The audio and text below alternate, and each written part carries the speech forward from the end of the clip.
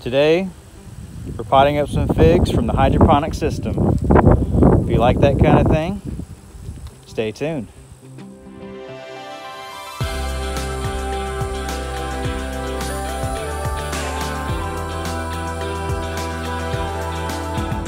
Hello, welcome back to Be the Change Farm.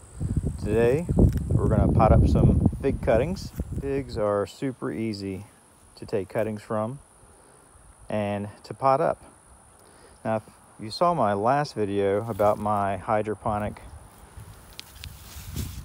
cloning operation, I grew these figs in a hydroponic system from cuttings from trees I had on the farm.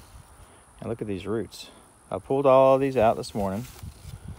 Tons of them here, probably at least 75, 80. First thing you have to do is you got to fill up a bunch of pots with potting soil or compost. I took all this soil from my compost pile, which is covered under these tarps. It's mostly spent microgreen potting soil that I use uh, indoors to sell to chefs. But I throw all my potting soil basically that I buy bagged into here after I've used it for microgreens. So all has been sitting for a while and it makes good plantings for trees or bushes or flowers. All right. Uh, the reason I like it for trees is it's, it's not perfect. It's just broken down, some broken down organic matter with the potting soil. Um, but it's all organic potting soil. So should be good and it's not too hot or anything. It doesn't really, the pile doesn't really heat up. So um, I like to just fill these gallon pots, which I got for free, with the soil from underneath these tarps. And I just fill up a bunch of them all at once because I have a lot of cuttings. If you don't have a lot of cuttings, well, you just got to do one, two, three. It's not a big deal. But I just go and I poke a hole with my stick dibbler. And I just go and punch a hole all the way to the bottom in every container. And you can see I've already done that. All right.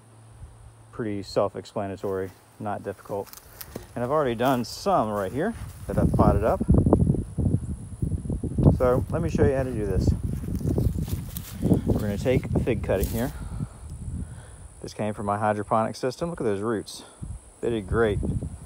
Very simple to do. Hardly any work. They just sat in here for about, in the hydroponic system for about three months and they're ready to go. Now I have probably close to 100 fig cuttings and I'll have 100 new trees. These are brown turkey uh, figs.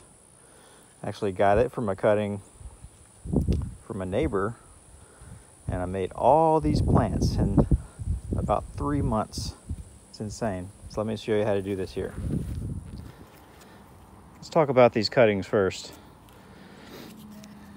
Uh, there's two ways I put these in the hydroponic system. First way, well, both are in net cups, all right? But this one is in an Oasis cube. So I'll just take that net cup off, take off that cube, which I think is biodegradable, but I'm going to take it off anyway. Set that down. And have this other way, which is in a net cup with a pool noodle that I cut up in little pieces. Kind of clamps around the stem and fits perfect in that net cup to hold it in there. In fact, I think you might not even need that, but it helps prevent algae in the hydroponic system so the, the light doesn't get to it. All right, just throw that to the side. So well, that's pretty good root system. Good enough. So after this, we just put it in the hole.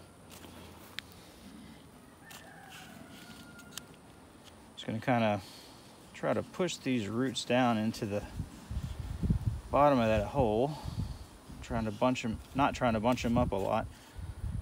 Get them in there and push that soil down around it really hard nice and tight. Same with this one.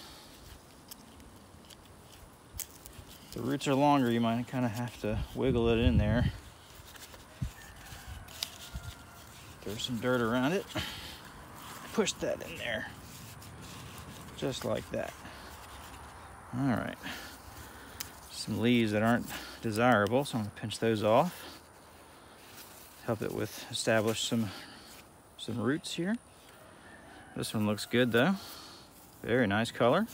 This one's a little lacking, but it'll catch up. Wouldn't worry about it. So after that, all you have to do is water these in. All right. So let's just put them on our little trusty cart here. And it'll be ready to go. I got to roll these in side tonight because it's going to be, I think, 27 degrees tonight. We're going to have a late freeze eh, here down in uh, South Louisiana. I think it's March the 19th, 2023. That's pretty late for us, but technically the last frost date is March the 21st for my area. But just in case, we're going to throw these babies inside tonight uh, make sure they're watered in real well. And I'm going to roll them in the barn and they're going to be fine. Done it plenty of times. But let's walk over and see some that I potted up a few weeks ago. All right, these babies I potted up about two weeks ago, I guess. About 10 of them, I think.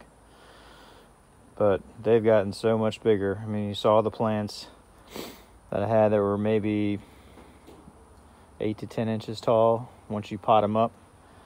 And these are definitely reaching a foot. So they're looking pretty good.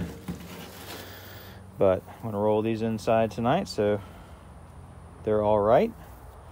Along with some other stuff that I've got, some blueberries and some blackberries and stuff like that that I just bought. A pineapple guava, maybe my apple trees might need to go in.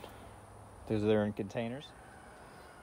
So I would say the hydroponics system for propagating these figs has been a great success. I want to have an entire orchard of figs by the time I'm done with this.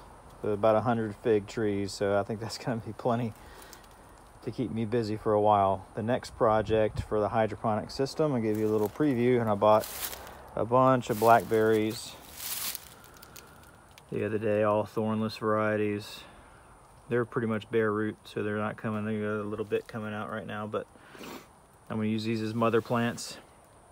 I'm gonna plant them in the field and then take cuttings from those and experiment in the hydroponics to propagate those.